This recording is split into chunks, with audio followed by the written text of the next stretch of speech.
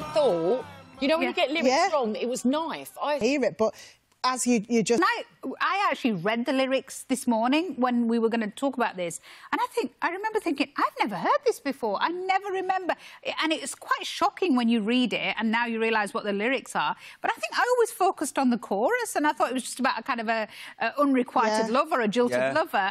Shh, Can't sing this one. yeah, Bad to sing.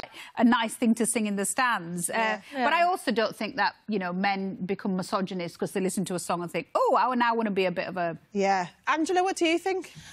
Mm, I think with, I agree with Sada. I think uh, you can't.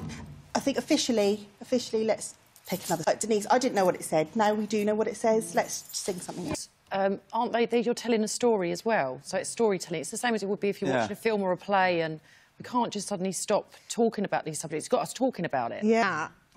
And you can enjoy that as a fictional show without thinking. That song, if you like, but banning it seems. hmm. I just wouldn't throw my knickers now at Sir Tom. That's what it's led us to. Longest running comic uh, going, but today it's been criticised. Yeah, but then don't you think when it's kids, they're very. I mean, if, if there's a story in there about, you know, having a fight against vile veg, then you're going to sit there. And my daughter said, you know, it's this TV programme that they watch. It's all kind of humorous, Yeah. but it just felt a bit... Which is good. So will she eat peas or not? Well, no, she's a bit funny out of You've that. got to I'm give peas a realising it. chance. Yeah. yeah, you have. Um, Sarah, what do you think on this? Yeah, I totally agree. Um, my kids are six and nine, and I think probably only Critical than men.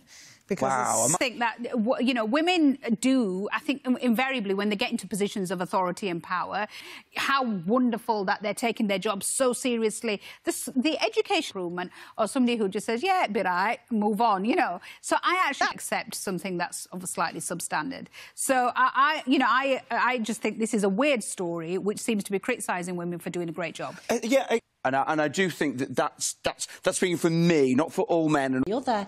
My husband is critical, as much as I love him to bits. I mean, he criticises my driving, but I do criticise his driving as well. But like when I when I park up at home, he'll come outside and he'll make sure it's parked straight, you know. And Who's more critical out of you two? Um, I'm probably a little bit more particular. When you talk about standards, yeah, I probably have got slightly high standards, in as much as, you know... suddenly it's, "Whoa," you know, women are you know, the, I've worked with men and women, but invariably the most amazing, the people that I've met and I've worked with and I've gone, wow. you're trying not to sort of do that horrible gender thing, but certainly the people that absolutely go for it and they're consistent. But there is a place for everyone, isn't there?